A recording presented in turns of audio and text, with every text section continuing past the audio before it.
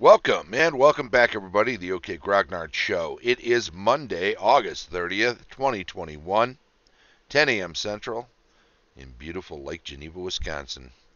Thanks for your patience, everybody, while I got this thing up and running today. Still some residual problems from last week, apparently, that I was not aware were going to be additional problems.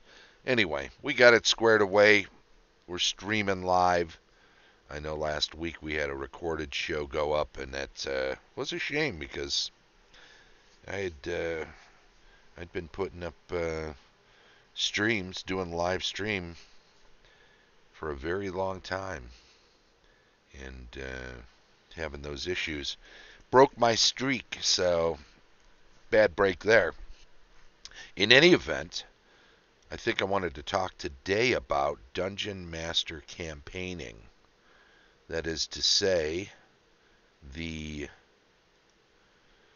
supply side of campaigning. What uh, what is in the hands of the dungeon master? I had a recent issue come up um, in the campaign I'm running, a meta issue, a issue that uh, uh, was about logistics of the of the game for the players, of the campaign and uh, it was something you know. Sometime back, I probably would have not even uh, thought that it might be an issue, but because uh, DMs, I think we often understand that uh, without somebody running the game, in this particular case, Dungeons and Dragons, without a game master, this particular RPG just doesn't work. Um, so when somebody's putting a campaign together, you kind of become the integral part to it. If you can't make it, sure they can play something else, the, the, the rest of the group, but you're not playing that campaign. So whether or not the campaign happens each time it's going to happen, uh, it's definitely uh, in the hands of the dungeon master first and foremost. If you have a large group and a player or two can't manage to be there, then um, often uh, a campaign can go on because schedules being what they are back in the day and today even more so uh, you know things come up and sometimes people can't make it. In any event we run a regular game twice a month and we had a couple of players that couldn't make it the last time we were going scheduled to play. And so uh, I called the game. I said, you know what? With only three out of five, because that's our that's our group size this time around. With only three out of five, I said, you know, the campaign's new enough. It's only been a couple of months.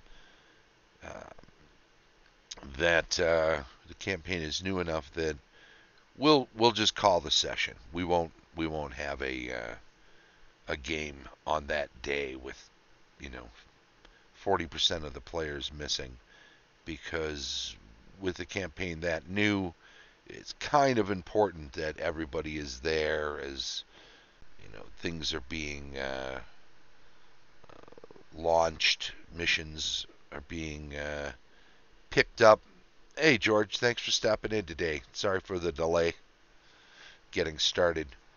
Um, so I, I don't want anybody to miss this early. There's a lot of new information, a lot of new players.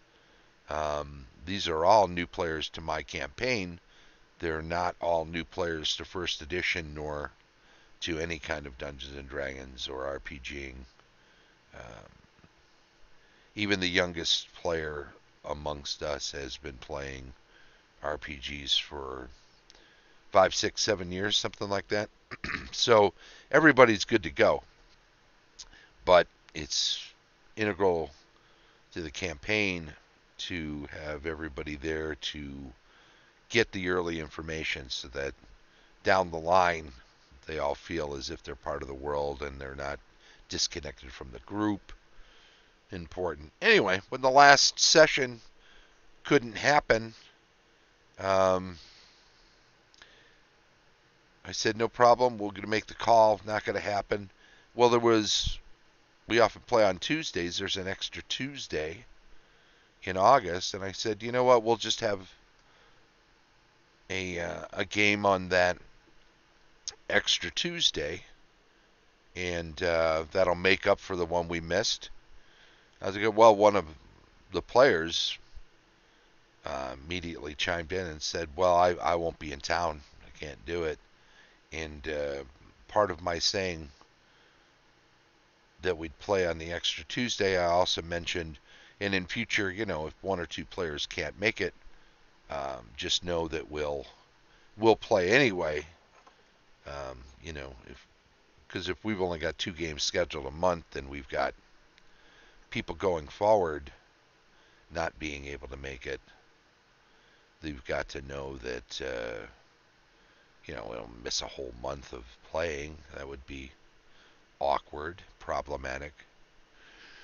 So I had to make a decision because now we've got a player can't make it, but it wasn't a, wasn't originally scheduled.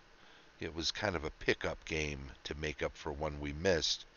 And uh, even though I said that that's what we were going to do, uh, or said that that's what I was prepared to do, and have been asking the players if they could do it, with the intent that we would do it anyway if we only had one or two people missing.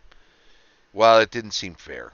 In retrospect, after I had made the suggestion, I realized, you know, throwing an extra game on the schedule at a time when uh, some of the players didn't expect that game to be on the schedule and had made other plans wasn't fair to those players. So I reversed my decision, backtracked, flip flopped, whatever you want to call it, and uh, said, "No, nah, okay, that's that's on me. We will not uh, have that have that extra game. We'll wait till our next regularly scheduled game and move forward with the campaign as uh, as we would have otherwise." So that's the end of that. But uh, I think it's important to note that uh, when you're uh, running a campaign as a DM, uh, it's good to get as much input as possible before you make plans for other people. It's uh, it's always a, a good idea, obviously, to to uh, get information from everybody but certainly very important when scheduling games to uh, check in with everybody first, you know, before you pull the trigger on when you're going to play. Know in advance whether anyone is not available so that uh, you don't have to reverse those calls. George says it can be tough to stay on a schedule with real life issues and balancing pros and cons when short on players. Yeah, exactly. It's uh, it's impossible to know everybody's schedule, and when somebody doesn't expect there to be a game, uh, why wouldn't they make other plans? They uh, they have other people in their lives who are asking them to uh, make plans. And you know what? Right now, this kind of uh, as we limp back to normalcy, in the world, in the U.S., as we uh, try to uh, start functioning again in a normal way. Uh-oh, looks like I froze up. I don't know if my video is... Oh, I see. Wait a second now. See if I can do this. How'd that work? No? Looks like my video froze up. Let me try it one more time here. I think I can deactivate and reactivate it and get it going again. Hopefully that worked. We'll see in just a few seconds as the lag pairs out. In any event, uh, yeah, a lot of what we're dealing with is, uh, in some ways, people catching up on all the things they didn't get to do for over a year of uh, isolation, limited uh, limited uh, vacationing or travel. Um, certainly a limit. George says save versus petrification. Absolutely. I had to make my uh, deactivation roll and reactivation roll. And I guess they both worked. So uh, you, you can't blame people for adding a lot to their schedule as quickly as they can, as often as they can, to make up for all the all the things they missed. Um, seeing relatives, canceling vacation plans they may have had over the last year. Um, you know, getting time off seems like a treat unless most of the things that you would have done with time off can't be done. So it's uh, something to consider. Anyway, we're not going to do a super long show today. Um, we're talking about Dungeon Master campaigning. I guess uh, the three tips I have in regard to this one situation is, you know, solicit information from your players up front. Um, double check with people's schedules before you change a schedule or add anything to a schedule. Now, you may well have to cancel games, and there's no way around that. But if you add additional games to a schedule, you've got to make sure that uh, that everyone's available to play before you go out on that limb. George is asking what level is the group. Well, we really have only played a few sessions, so they are um, just getting up into level two. They've collected uh, some experience. I don't think everybody's moved up yet. Um, I'm sure everybody has.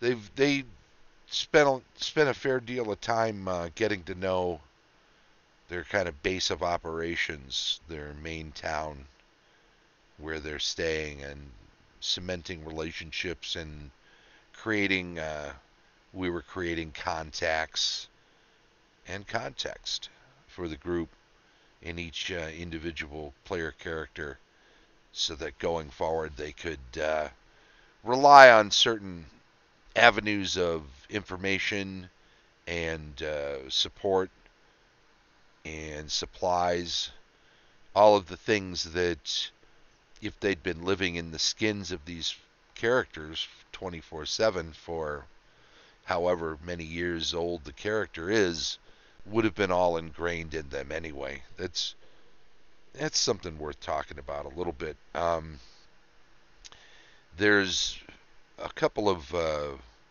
obstacles to a successful campaign that, if you lay the groundwork for it, can can uh, really help make for a smoother campaign down the line, as well as one that's more immersive. And that is spending the time early on, making sure the players know who their characters are within your setting. Um, they have an idea what they'd like to play. They have an idea what they think their character is all about. But until that character uh, is uh, contextualized within the actual setting, uh, how do they know their character? Their place in the world is of utmost importance to knowing who that character is low level can be so fun as they get their mojo. Absolutely, George. It's uh, it's definitely true that while they're uh, getting to learn these characters and getting to understand uh, who they're playing and where they're where what setting they're playing in and how it all connects, as they're getting those feet under them, uh, it becomes uh, a lot more fun for them to then uh, start suggesting things they're going to do, knowing the ramification and consequences of their actions, potential ramifications and consequences of their actions prior to taking action is a large part of the risk reward that makes for a satisfying game. Uh, if if my character is just a group of numbers on a sheet of paper and there's no, I can just make another one. Uh, there's no immersion. If there's no stake for me in what happens to that character, if consequences thereby don't matter, then any action I take, no matter how seemingly bold, is inconsequential, and uh, there thereafter not not as satisfying as it could be. It may be fun to roll high numbers uh, in a in a war game or in any kind of a game, just because it's fun rolling dice and knowing that they came out in your favor. But if there are no stakes, then it's a lesser version of rolling the dice than it could have been. Well, that's about it. We started late, so we're going to end it a little early. Basically, we're uh, ending a little bit after the usual time that we would end. But it's a shorter shorter show today, and that's okay. Some of these shows can be a little shorter. They don't have to all be a half hour. In any event, I want to thank you very much, George, for stopping by, and I see I've got some other lurkers, so thanks to everybody there as well. I do appreciate it. And uh, let me also say, now that we got all the kinks worked out, that we should continue to be having our shows Monday at 10 a.m. Central. We stream on Twitch live each Monday at 10 a.m., and then it's archived on YouTube. If you can join us on Twitch, I'd appreciate it. Follow the channel. Feel free to hop into the stream chat and say hello when you do. Thanks to George and everybody else who popped in today. If you catch up with this on YouTube, do yourself a favor and subscribe to the channel. Click on the bell to get updates when new shows are being uploaded. Please do also give the thumbs up to any videos that you watch and enjoy, and also feel free to comment on videos. Uh, got some input into the topic of the show, or just want to help make the show better, that would be appreciated very much. This has been the OK Grognard Show from beautiful Lake Geneva, Wisconsin. Bye bye.